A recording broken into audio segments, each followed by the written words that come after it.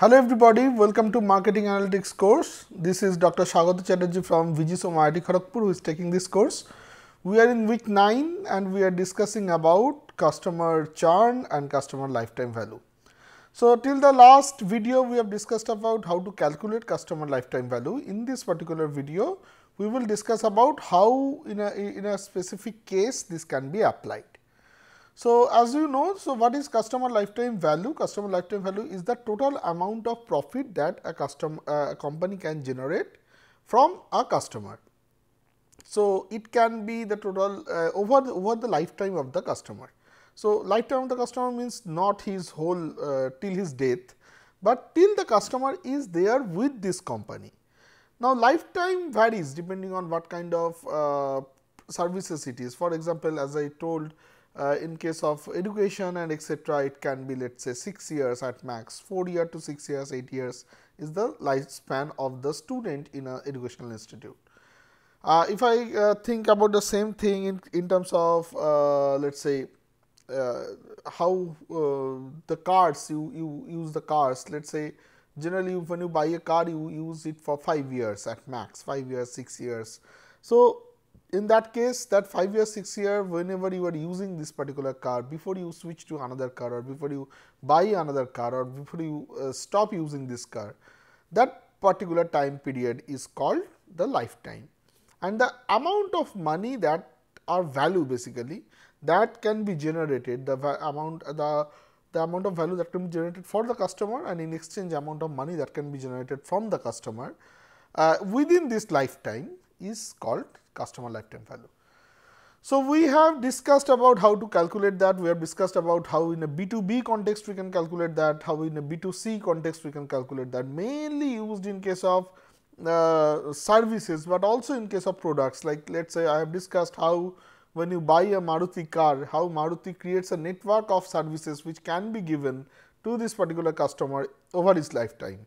That includes the services related to let us say repair services that can be related to the driving uh, license services that can be related to uh, the second hand car uh, selling services or that can be related to money which is which comes from the insurance company from the fuel company and spare parts blah blah blah. So, there can be so many avenues after you buy the car where you, the, the company can generate value and in an exchange can take uh, can, can generate profit for itself uh, over the lifetime of the customer.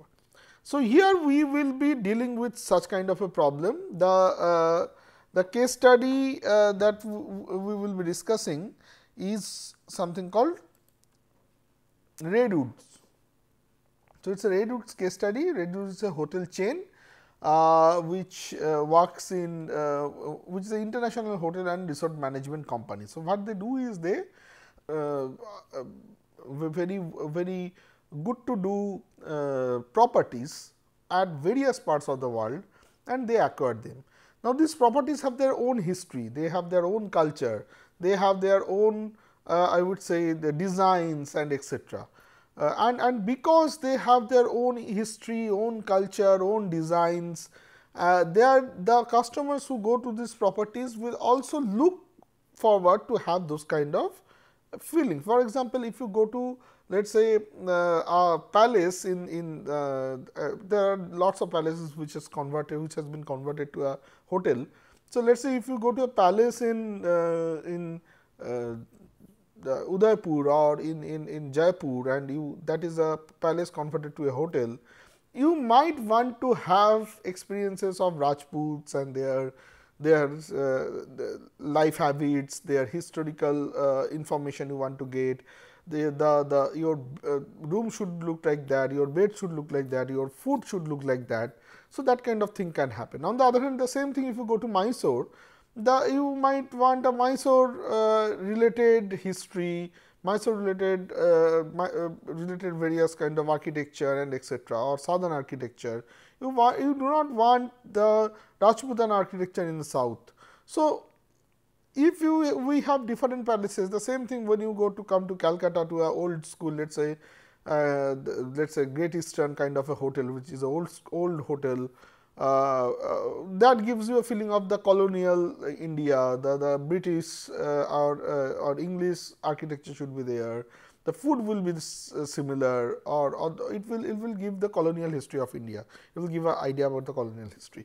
So, each of these hotels let us say uh, the the Taj palaces in, in uh, Jaipur and then let us say uh, some hotel in Mysore or or, or, or, or similar areas and then one palace which is Great Eastern in, in, in uh, Kolkata. All of these guys will have different history with it. It will not have the similar kind of history.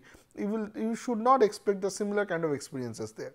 So, Rosewood used to actually acquire this kind of properties at various parts of the world.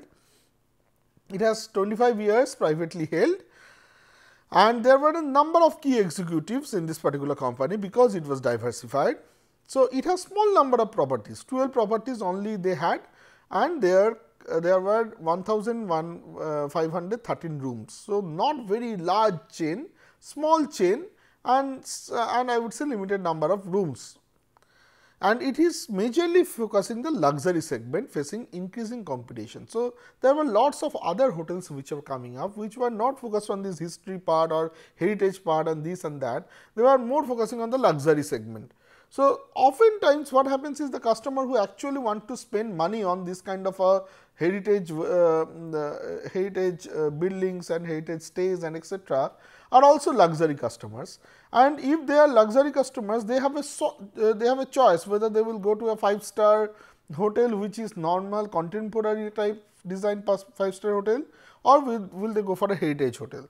So, unless that uh, feelings of or attitude towards heritage, history and etc., is ignited, unless that is ignited when it is a normal stage, you are this this Rosewood and let us say Hilton is probably targeting the same type of customers which is the luxury segment. And because the competition in this luxury segment was going up slowly, Rosewood had an issue that how I can manage this kind of a competition, how can I can I can I can uh, probably uh, uh, fight with this kind of a competition and make my niche segment very strong, so that nobody can come into this. So, they have very heterogeneous properties as I was telling the properties where each of them has their own situations. Now, this is the major problem statement was like the there was competition that was going up that was the major problem. Now, hotels and resorts if I just uh, break it into two uh, groups one are like corporate chains and another are individually branded hotels. So, corporate chains are actually so so let us say it is like uh, if I, if I am not uh, wrong let us say it is uh, any any any any uh, particular single brand which has presence in multiple cities and all under the same name that is a corporate chain kind of a thing. So, for example, Marriott, Marriott is a classic corporate chain but they, they have presences multiple cities all over the all over the world. And they ha they have the similar kind of atmosphere, similar kind of services, some a little bit of localization is there, but mainly very global service, maybe global uh, I would say mm, experience you can expect whenever you go into the Marriott hotel. So, their average daily rate is low, low means in comparison to the luxury segment it is low and then the occupancy rates are high. On the other hand, individually branded hotels have very high daily rate and their occupancy rates are low. So, obviously, price goes up, the occupancy rates goes down, the demand goes down that is one thing. Another major problem that individually branded uh, hotels used to face is there is no cross selling. See in corporate chain if you have a loyalty card you can use the points of loyalty card uh, that has been acquired from a particular hotel of Marriott chain can be redeemed in another particular hotel also of Marriott chain. So, if there is a focus on cross selling, if you are a push in cross selling, the chances that a guy who will come in Marriott New York will also come to Marriott Kolkata if he by chance visits Kolkata and and and the chances of having a particular customer within the network becomes much higher.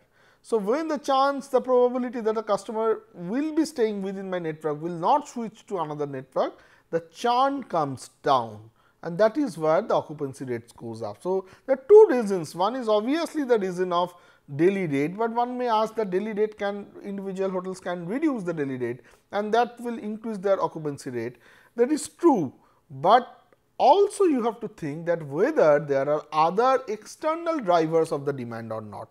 If you can increase your demand without compromising your daily rate, then that is something which is you have to which you should do. So, that is where, where this particular case comes in. So, for example, uh, here there are uh, I think 4 hotels are there. The bar charts are occupancy rates and the lines are average daily uh, rate. So, you can see that Rosewood is which is the red one which is the leftmost one will have lowest occupancy rate uh, in 2001, 2 and slowly it is going up and the yellow one is basically the four seasons, four seasons was quite high and then it dropped actually and then uh, the next was Ritz Carlton. Carlton was always be the leader. So, seasons was almost equal to Carlton at some point of time in 2001 and 2002, but in 2003 it dropped and uh, then comes Orient Express Hotel which was slowly deteriorating. So, it was high and then low and then further lower. So, this is the occupancy rate situation. So, slowly I would say that Rosewood was improving, but we have to further study that how much is the actual improvement and this is and how, how they can they can actually do further better. On the other hand, if I check the lines, you will see that the green line is for Ritz Carlton which is the lowest and the uh, this blue line is for Rosewood which is the highest. So, obviously, the ADR is high in the middle 2002 all of them did a, a, little bit lower price other than this one which is Orient Express. Orient Express was increasing their price like anything and that is where probably their occupancy rate got affected. But overall this is the situation of this business. So, that is how I can say that Rosewood was not doing very bad, but it had an opportunity to do further better. Now, the question is how. Another important uh, matrix is uh, uh, RevPARs which is revenue per average uh, night or whatever I forgot which is uh, basically basically how many occupancy is something that they have to calculate. So, Rosewood RevPAR in dollars is almost close to 200 and then so this is revenue that you can incur revenue that you generate per occupancy is something that we are checking here. So, which is which is very close to 200 and then then this this one has improved in 2002 and in 2003 it has further improved. So, that this is not exactly based other than your room rates what are the uh, other uh, money that you can generate is actually told in RevPAR. Now, the branding strategy is was the major problem for Rosewood. So, Rosewood because it was an individually branded house, it was focusing on individual branding strategy. So, what is an individual branding strategy? So, you will see individual branding strategy looks like this. So, I will just open it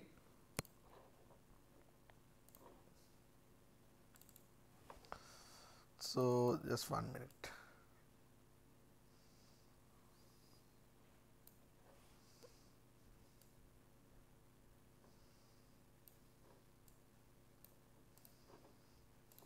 Okay, so the individual branding strategy looks like this, where let us say there are two options.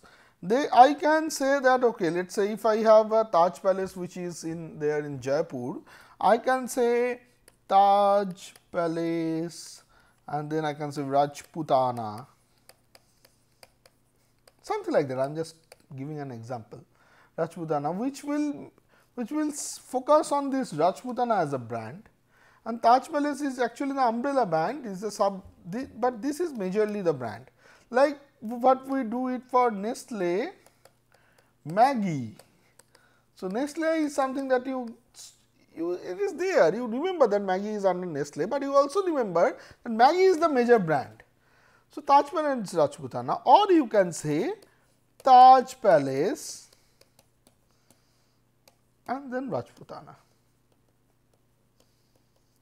So, the idea is that the moment I am doing this, I am focusing on the factor that there is something called Taj Palace and I will expect a palace and, and I will expect a palace in Rajputana that is what I will expect. So, in a Udaipur I will expect a palace. So, if I by chance have the experience of Taj Palace in somewhere else and whatever experience I got there, let us say a beautiful room, uh, the king like uh, bed and the king like services and king like food and blah blah blah, similar thing I want expect in Rajputana. On the other hand, if I focus on Taj Palace Rajputana and like this where Rajputana is big and Taj Palace is low, so I will actually expect Rajput oriented history. So, the expectation will not be services, expectation will not be anymore the similar kind of stuff that I have got in some other Taj Palace. It will be majorly focused on the history of Rajput. I will uh, see spears and, and probably swords and this and that and some uh, some historical events which the, the, pictures of historical events will be there, uh, uh, wars will be there, probably great kings of Rajputs will be there. So, these kind of things I would expect. So, the expectation changes and that is how the now let us say I am a customer who is more interested in uh, the history of of, of the, uh, Raj, the, the western part of India let us say. I focus and I, I like the grandeur and etc. of, of I, I lo love these uh, war stories and etc. So, then in those kind of cases I would be preferring Rajputana and now, if I go to let us say some other Taj palace, so I am not sure whether there is uh, I forgot there if there are other Taj palaces. Let us say I am just writing let us say I am saying that there is a Taj palace and then uh, some other king let us say uh, let us say Maharashtra.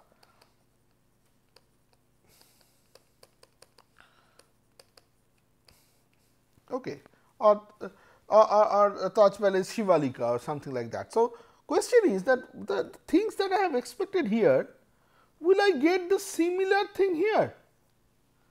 The expectations will change because here I am focusing on Rajputana, Rajputana's history is being focused, here some other history will be focused.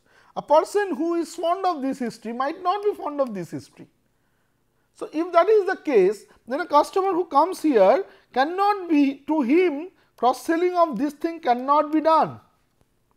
On the other hand, if you focus on Taj Palace as a thing and Rajputan is a small sub part of the brand, a sub brand, then another thing which is Taj Palace and then small Maharashtra.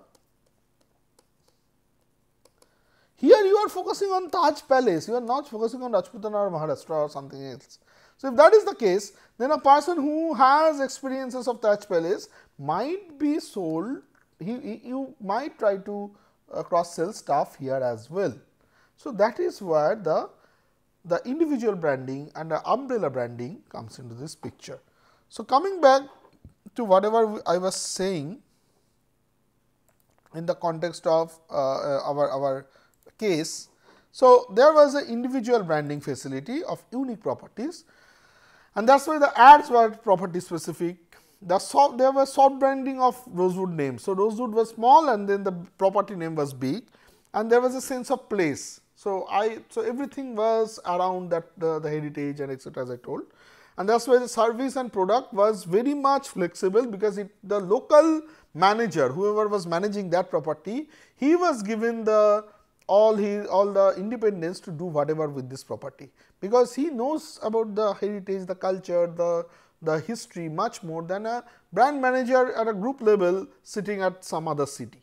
So, then he was more focused and because it was flexible, it was costly and that is why the margin was low.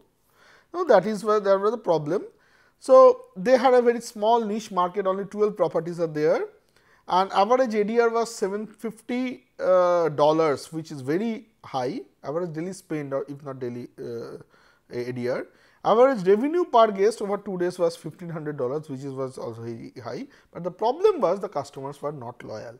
Because as I told the customer of Raj, Taj Palace Rajputana will not go to Taj Palace Sivalika or Sivaji or something like that.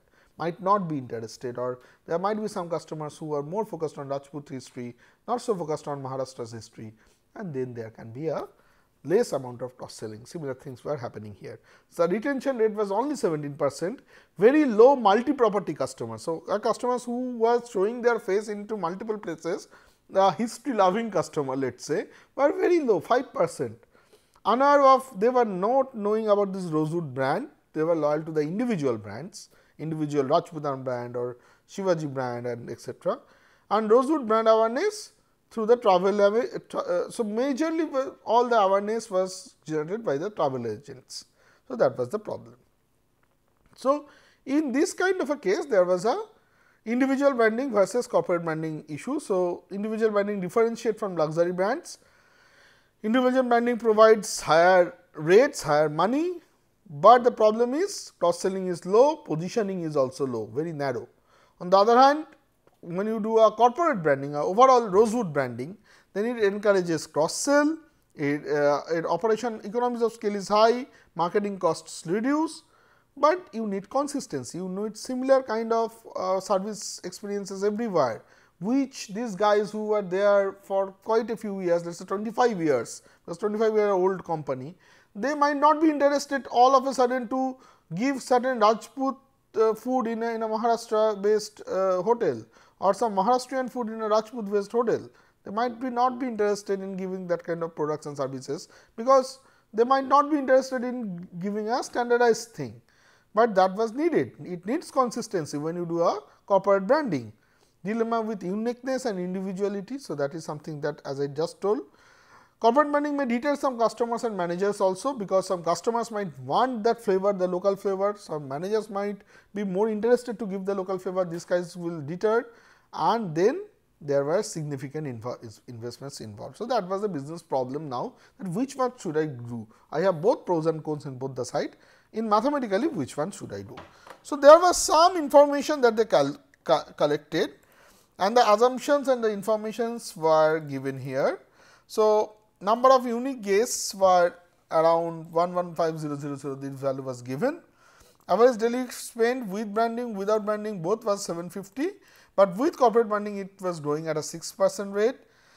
And then average number of stays is 2 days, average gross margin is 32 percent in both the cases, average number of visits per year per guest because cross branding will increase a little bit of number of visits it is 1.2 it has gone up to 1.3 Average marketing expense is much higher in case of corporate branding. What is more interesting is that the total number of repeat guests is 5750 additional. So, this is something which is important to understand. So, there are 5750 number of additional customers and number of multi property guests is 10 percent of this. So, previously it was 5 percent that goes up to 10 percent of this. So, that is what this additional 5750 comes up. And to do as I told there is a marketing cost involved in doing this. So, the additional marketing cost is almost 10 million dollar, uh, 1 million dollar and the discounting rate is 8 percent is what I have considered and retention rate also increased by 5 percent as I told. So, 21.67 percent. So, these are some of the basic figures that they calculated from their exhibits, various kinds of information, various charts, reports and etc. So, from there this CLV calculation is done. Just take check what I have done. So, first I have done without corporate branding. So, without corporate branding in the 0 year number 0 the acquisition cost if you check here it is 150 dollars. See 150 is the guest acquisition cost. So, that is what is the only cost there is no marketing cost in the first year because you are not doing anything. So, that is the cost and what is the benefit you generate 0.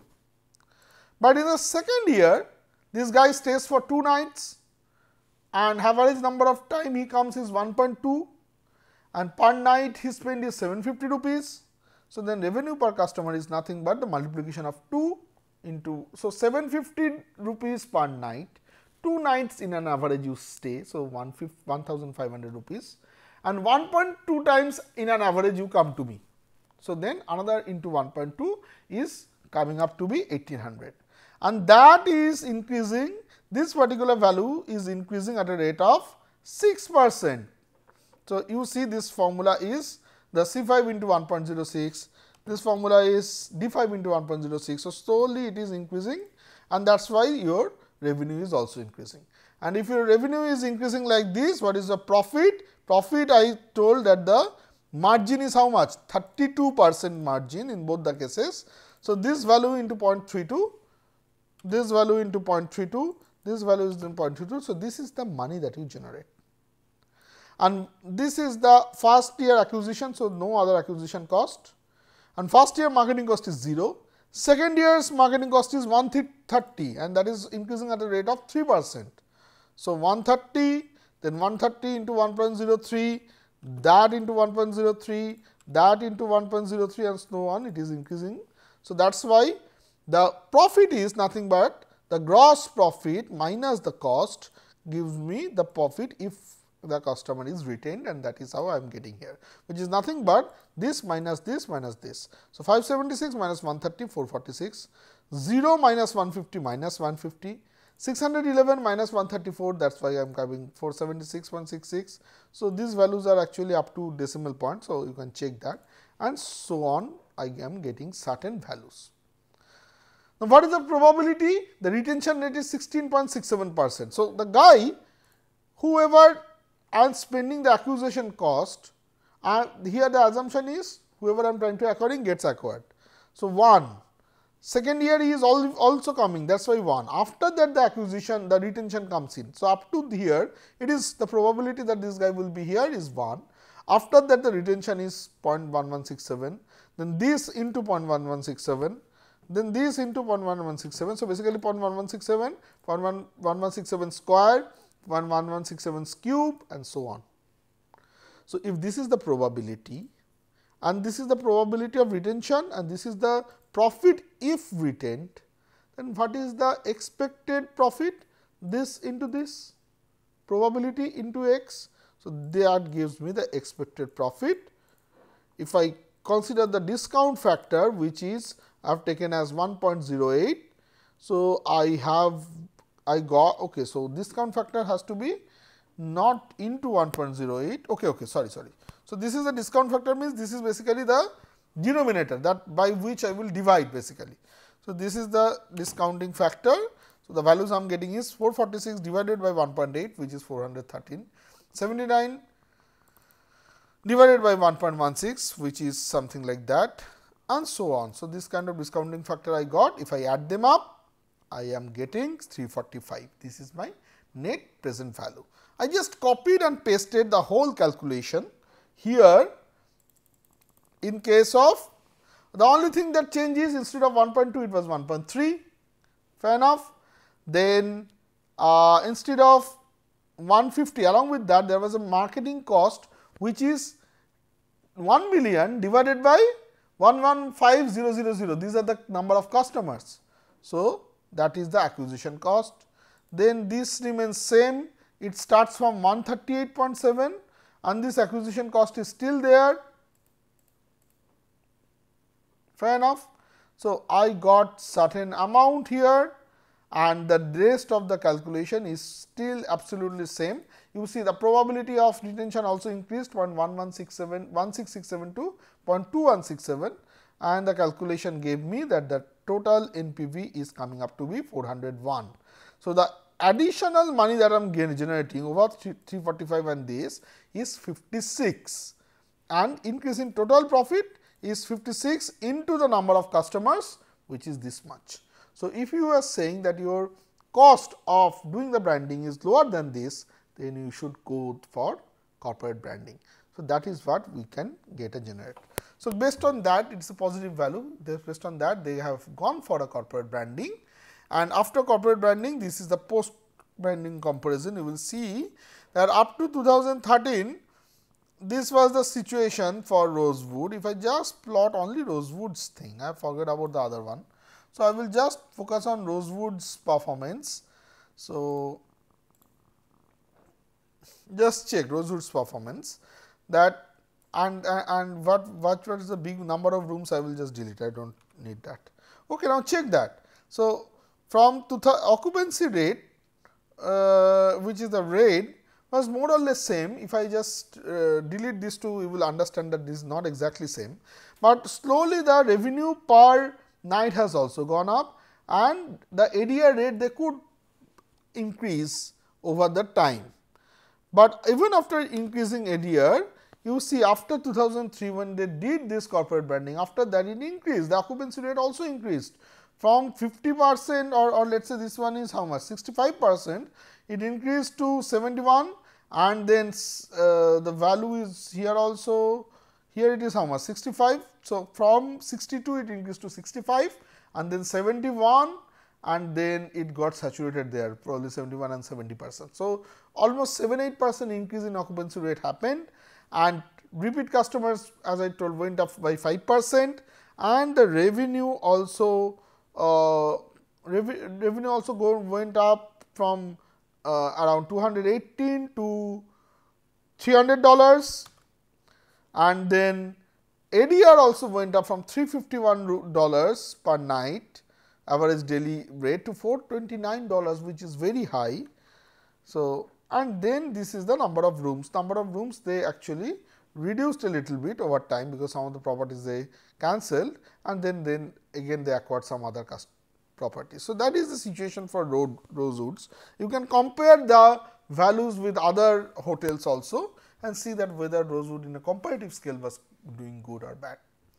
So, this is how you calculate customer lifetime value and take a strategic decision where whether you should go for.